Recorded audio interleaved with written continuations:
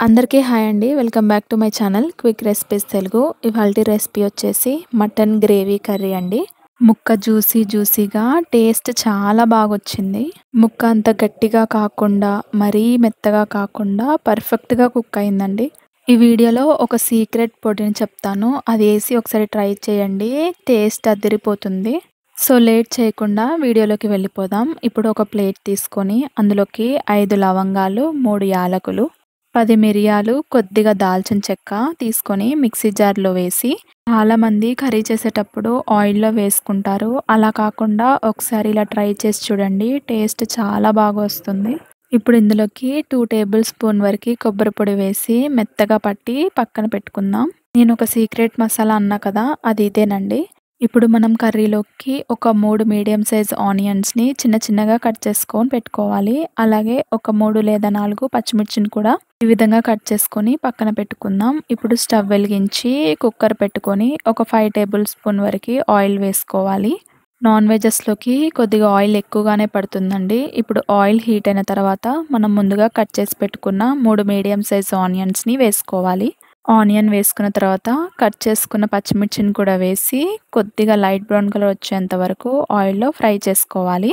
Onion పచ్చిమిర్చి ఈ విధంగా లైట్ బ్రౌన్ కలర్ వచ్చిన తర్వాత మనం ముందుగా ప్రిపేర్ చేసి పెట్టుకున్న కొబ్బరి మసాలా పొడిని కూడా వేసుకొని ఒక ఫ్యూ సెకండ్స్ వరకు ఆయిల్లో ఫ్రై చేసుకోవాలి. ఈ విధంగా మగ్గిన తర్వాత ఇందులోకి ఒక టూ టేబుల్ స్పూన్ వరకు అల్లం వెల్లుల్లి పేస్ట్ వేసుకొని పచ్చివాసన పోయేంత వరకు ఆయిల్లో ఫ్రై చేసుకోవాలి. అల్లం వెల్లుల్లి పేస్ట్ వేసిన తర్వాత లో ఫ్లేమ్లో దగ్గరుండి కలుపుతూ కుక్ చేసుకోవాలండి లేదంటే అడుగంటుతుంది. ఆ పచ్చివాసన పోయేంత వరకు ఒక వన్ మినిట్ వరకు లో ఫ్లేమ్లో కుక్ చేసుకుంటే సరిపోతుంది.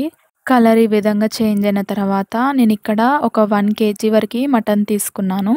శుభ్రంగా వాష్ చేసి ఇప్పుడు మనం కుక్కర్లో వేసుకుందాం. ఈ మటన్ అనేది ఆయిల్లో ఫస్ట్ బాగా కుక్ అవ్వాలండి. మటన్ అంతా వేసుకున్న తర్వాత మటన్ ఉడకడానికి మనం ఇందులోకి ఒక టూ టేబుల్ స్పూన్ వరకు సాల్ట్ వేసుకుందాం. నాన్ వెజ్ కర్రీస్లోకి సాల్ట్ కానీ కారం ఎక్కువగానే పడుతుందండి. ఈ క్వాంటిటీస్ వచ్చేసి వన్ కేజీ మటన్కి నేను తీసుకుంటున్నాను. ఒకవేళ మీరు హాఫ్ కేజీ మటన్ తీసుకుంటే ఇక్కడ నేను టూ టేబుల్ స్పూన్ వరకు సాల్ట్ వేసాను కదా. హాఫ్ కేజీ మటన్కి వన్ టేబుల్ స్పూన్ వరకు సాల్ట్ అయితే సరిపోతుంది. ఇప్పుడు ఇందులోకి హాఫ్ టేబుల్ స్పూన్ వరకు పసుపు వేసుకుందాం. ఈ ఉప్పు పసుపు అనేది ముక్కలకి పట్టేలా ఒకసారి కలుపుకోవాలి. ఫస్ట్ ఈ మటన్ వచ్చేసి ఆయిల్లో బాగా కుక్ అవ్వాలి కాబట్టి మూత పెట్టి ఒక టూ మినిట్స్ వరకు హై ఫ్లేమ్లో కుక్ చేసుకుందాం. ఇక్కడ కుక్కర్ మూతని జస్ట్ ఆన్ ఇచ్చానండి ఒక టూ త్రీ మినిట్స్ తర్వాత మూత ఓపెన్ చేసి ఒకసారి కలుపుకోవాలి. నేను ఇక్కడ అస్సలు వాటర్ పోసుకోలేదండి. చూడండి మటన్లో ఉన్న వాటర్ అనేది ఎలా బయటకు వచ్చిందో. అస్సలు వాటర్ పోయకుండా ఈ వాటర్లోనే మనం ఒక ఫైవ్ మినిట్స్ వరకు కుక్ చేసుకుందాం. మటన్ కర్రీని మనము హై ఫ్లేమ్లోనే కుక్ చేసుకోవాలి. ఇది కుక్ అవ్వడానికి చాలా టైం పడుతుందండి. ముక్క సాఫ్ట్గా టేస్టీగా జ్యూసీ జ్యూసీగా రావాలంటే మనం ముందుగా ఇలా ఆయిల్లో ఫ్రై చేసుకోవాలి. మధ్యలో మధ్యలో కలుపుకుంటూ ఉండాలి లేదంటే మటన్ అడుగంటుతుందండి.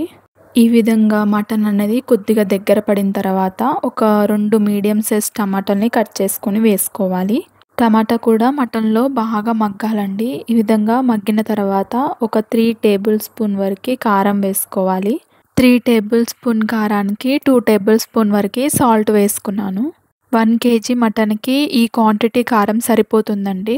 కారం వేసాం కాబట్టి ఒక వన్ మినిట్ వరకు మగ్గించిన తర్వాత ఒక గ్లాస్ వాటర్ వేసుకుందాం. ముక్క ఆల్మోస్ట్ ఒక ఫిఫ్టీ పర్సెంటేజ్ వరకు కుక్ అయి ఉంటుంది. ఇప్పుడు మనము ఒక వన్ గ్లాస్ వరకు వాటర్ పోసుకొని ఒకసారి కలుపుకోవాలి.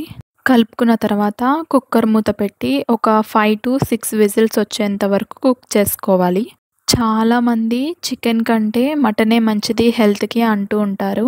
మీరేమంటారు? చికెన్ మంచిదా? మటన్ మంచిదా? కామెంట్ బాక్స్లో కామెంట్ చేసేయండి. సిక్స్ విజిల్స్ తర్వాత మనం ఒకసారి మూత ఓపెన్ చేసి చూద్దాం. చూడండి ఆయిల్ అనేది సపరేట్ అయిపోయి మటన్ బాగా ఉడికింది కదా. ఇప్పుడు మనము ఒకసారి కలుపుకుందాం. ఒక ఫైవ్ సిక్స్ విజిల్స్ అయితే సరిపోతుందండి. మనం ఆల్రెడీ ఆయిల్లో ఈ మటన్ని బాగా కుక్ చేసాం కదా. సో ఫైవ్ సిక్స్ విజిల్స్ అయితే ముక్క పర్ఫెక్ట్గా ఉడుకుతుంది. ఇప్పుడు మళ్ళీ స్టవ్ వెలిగించి కూరని పొయ్యి మీద పెట్టుకొని వన్ టేబుల్ స్పూన్ వరకు ధనియాల పొడి ఒక కప్పు వరకు కొత్తిమీర తీసుకొని శుభ్రంగా వాష్ చేసి వేసుకుందాం. ఇప్పుడు ఒక కప్పు పుదీనాను కూడా వేసుకొని ఒక వన్ మినిట్ వరకు ఐ ఫ్లేమ్లో కుక్ చేసి ఒకసారి కలుపుకొని స్టవ్ ఆఫ్ చేసుకోవడమే. అంతేనండి. Tasty and juicy mutton gravy curry ready అయిపోయింది. మీరు కూడా తప్పకుండా ట్రై చేసి టేస్ట్ మీకు ఎలా అనిపించిందో కామెంట్ బాక్స్లో కామెంట్ చేయండి. ఛానల్ని first time visit చేస్తున్నట్టయితే please subscribe to quick recipes Telugu. మరో కొత్త వీడియోతో రేపు కలుద్దాం. Until then bye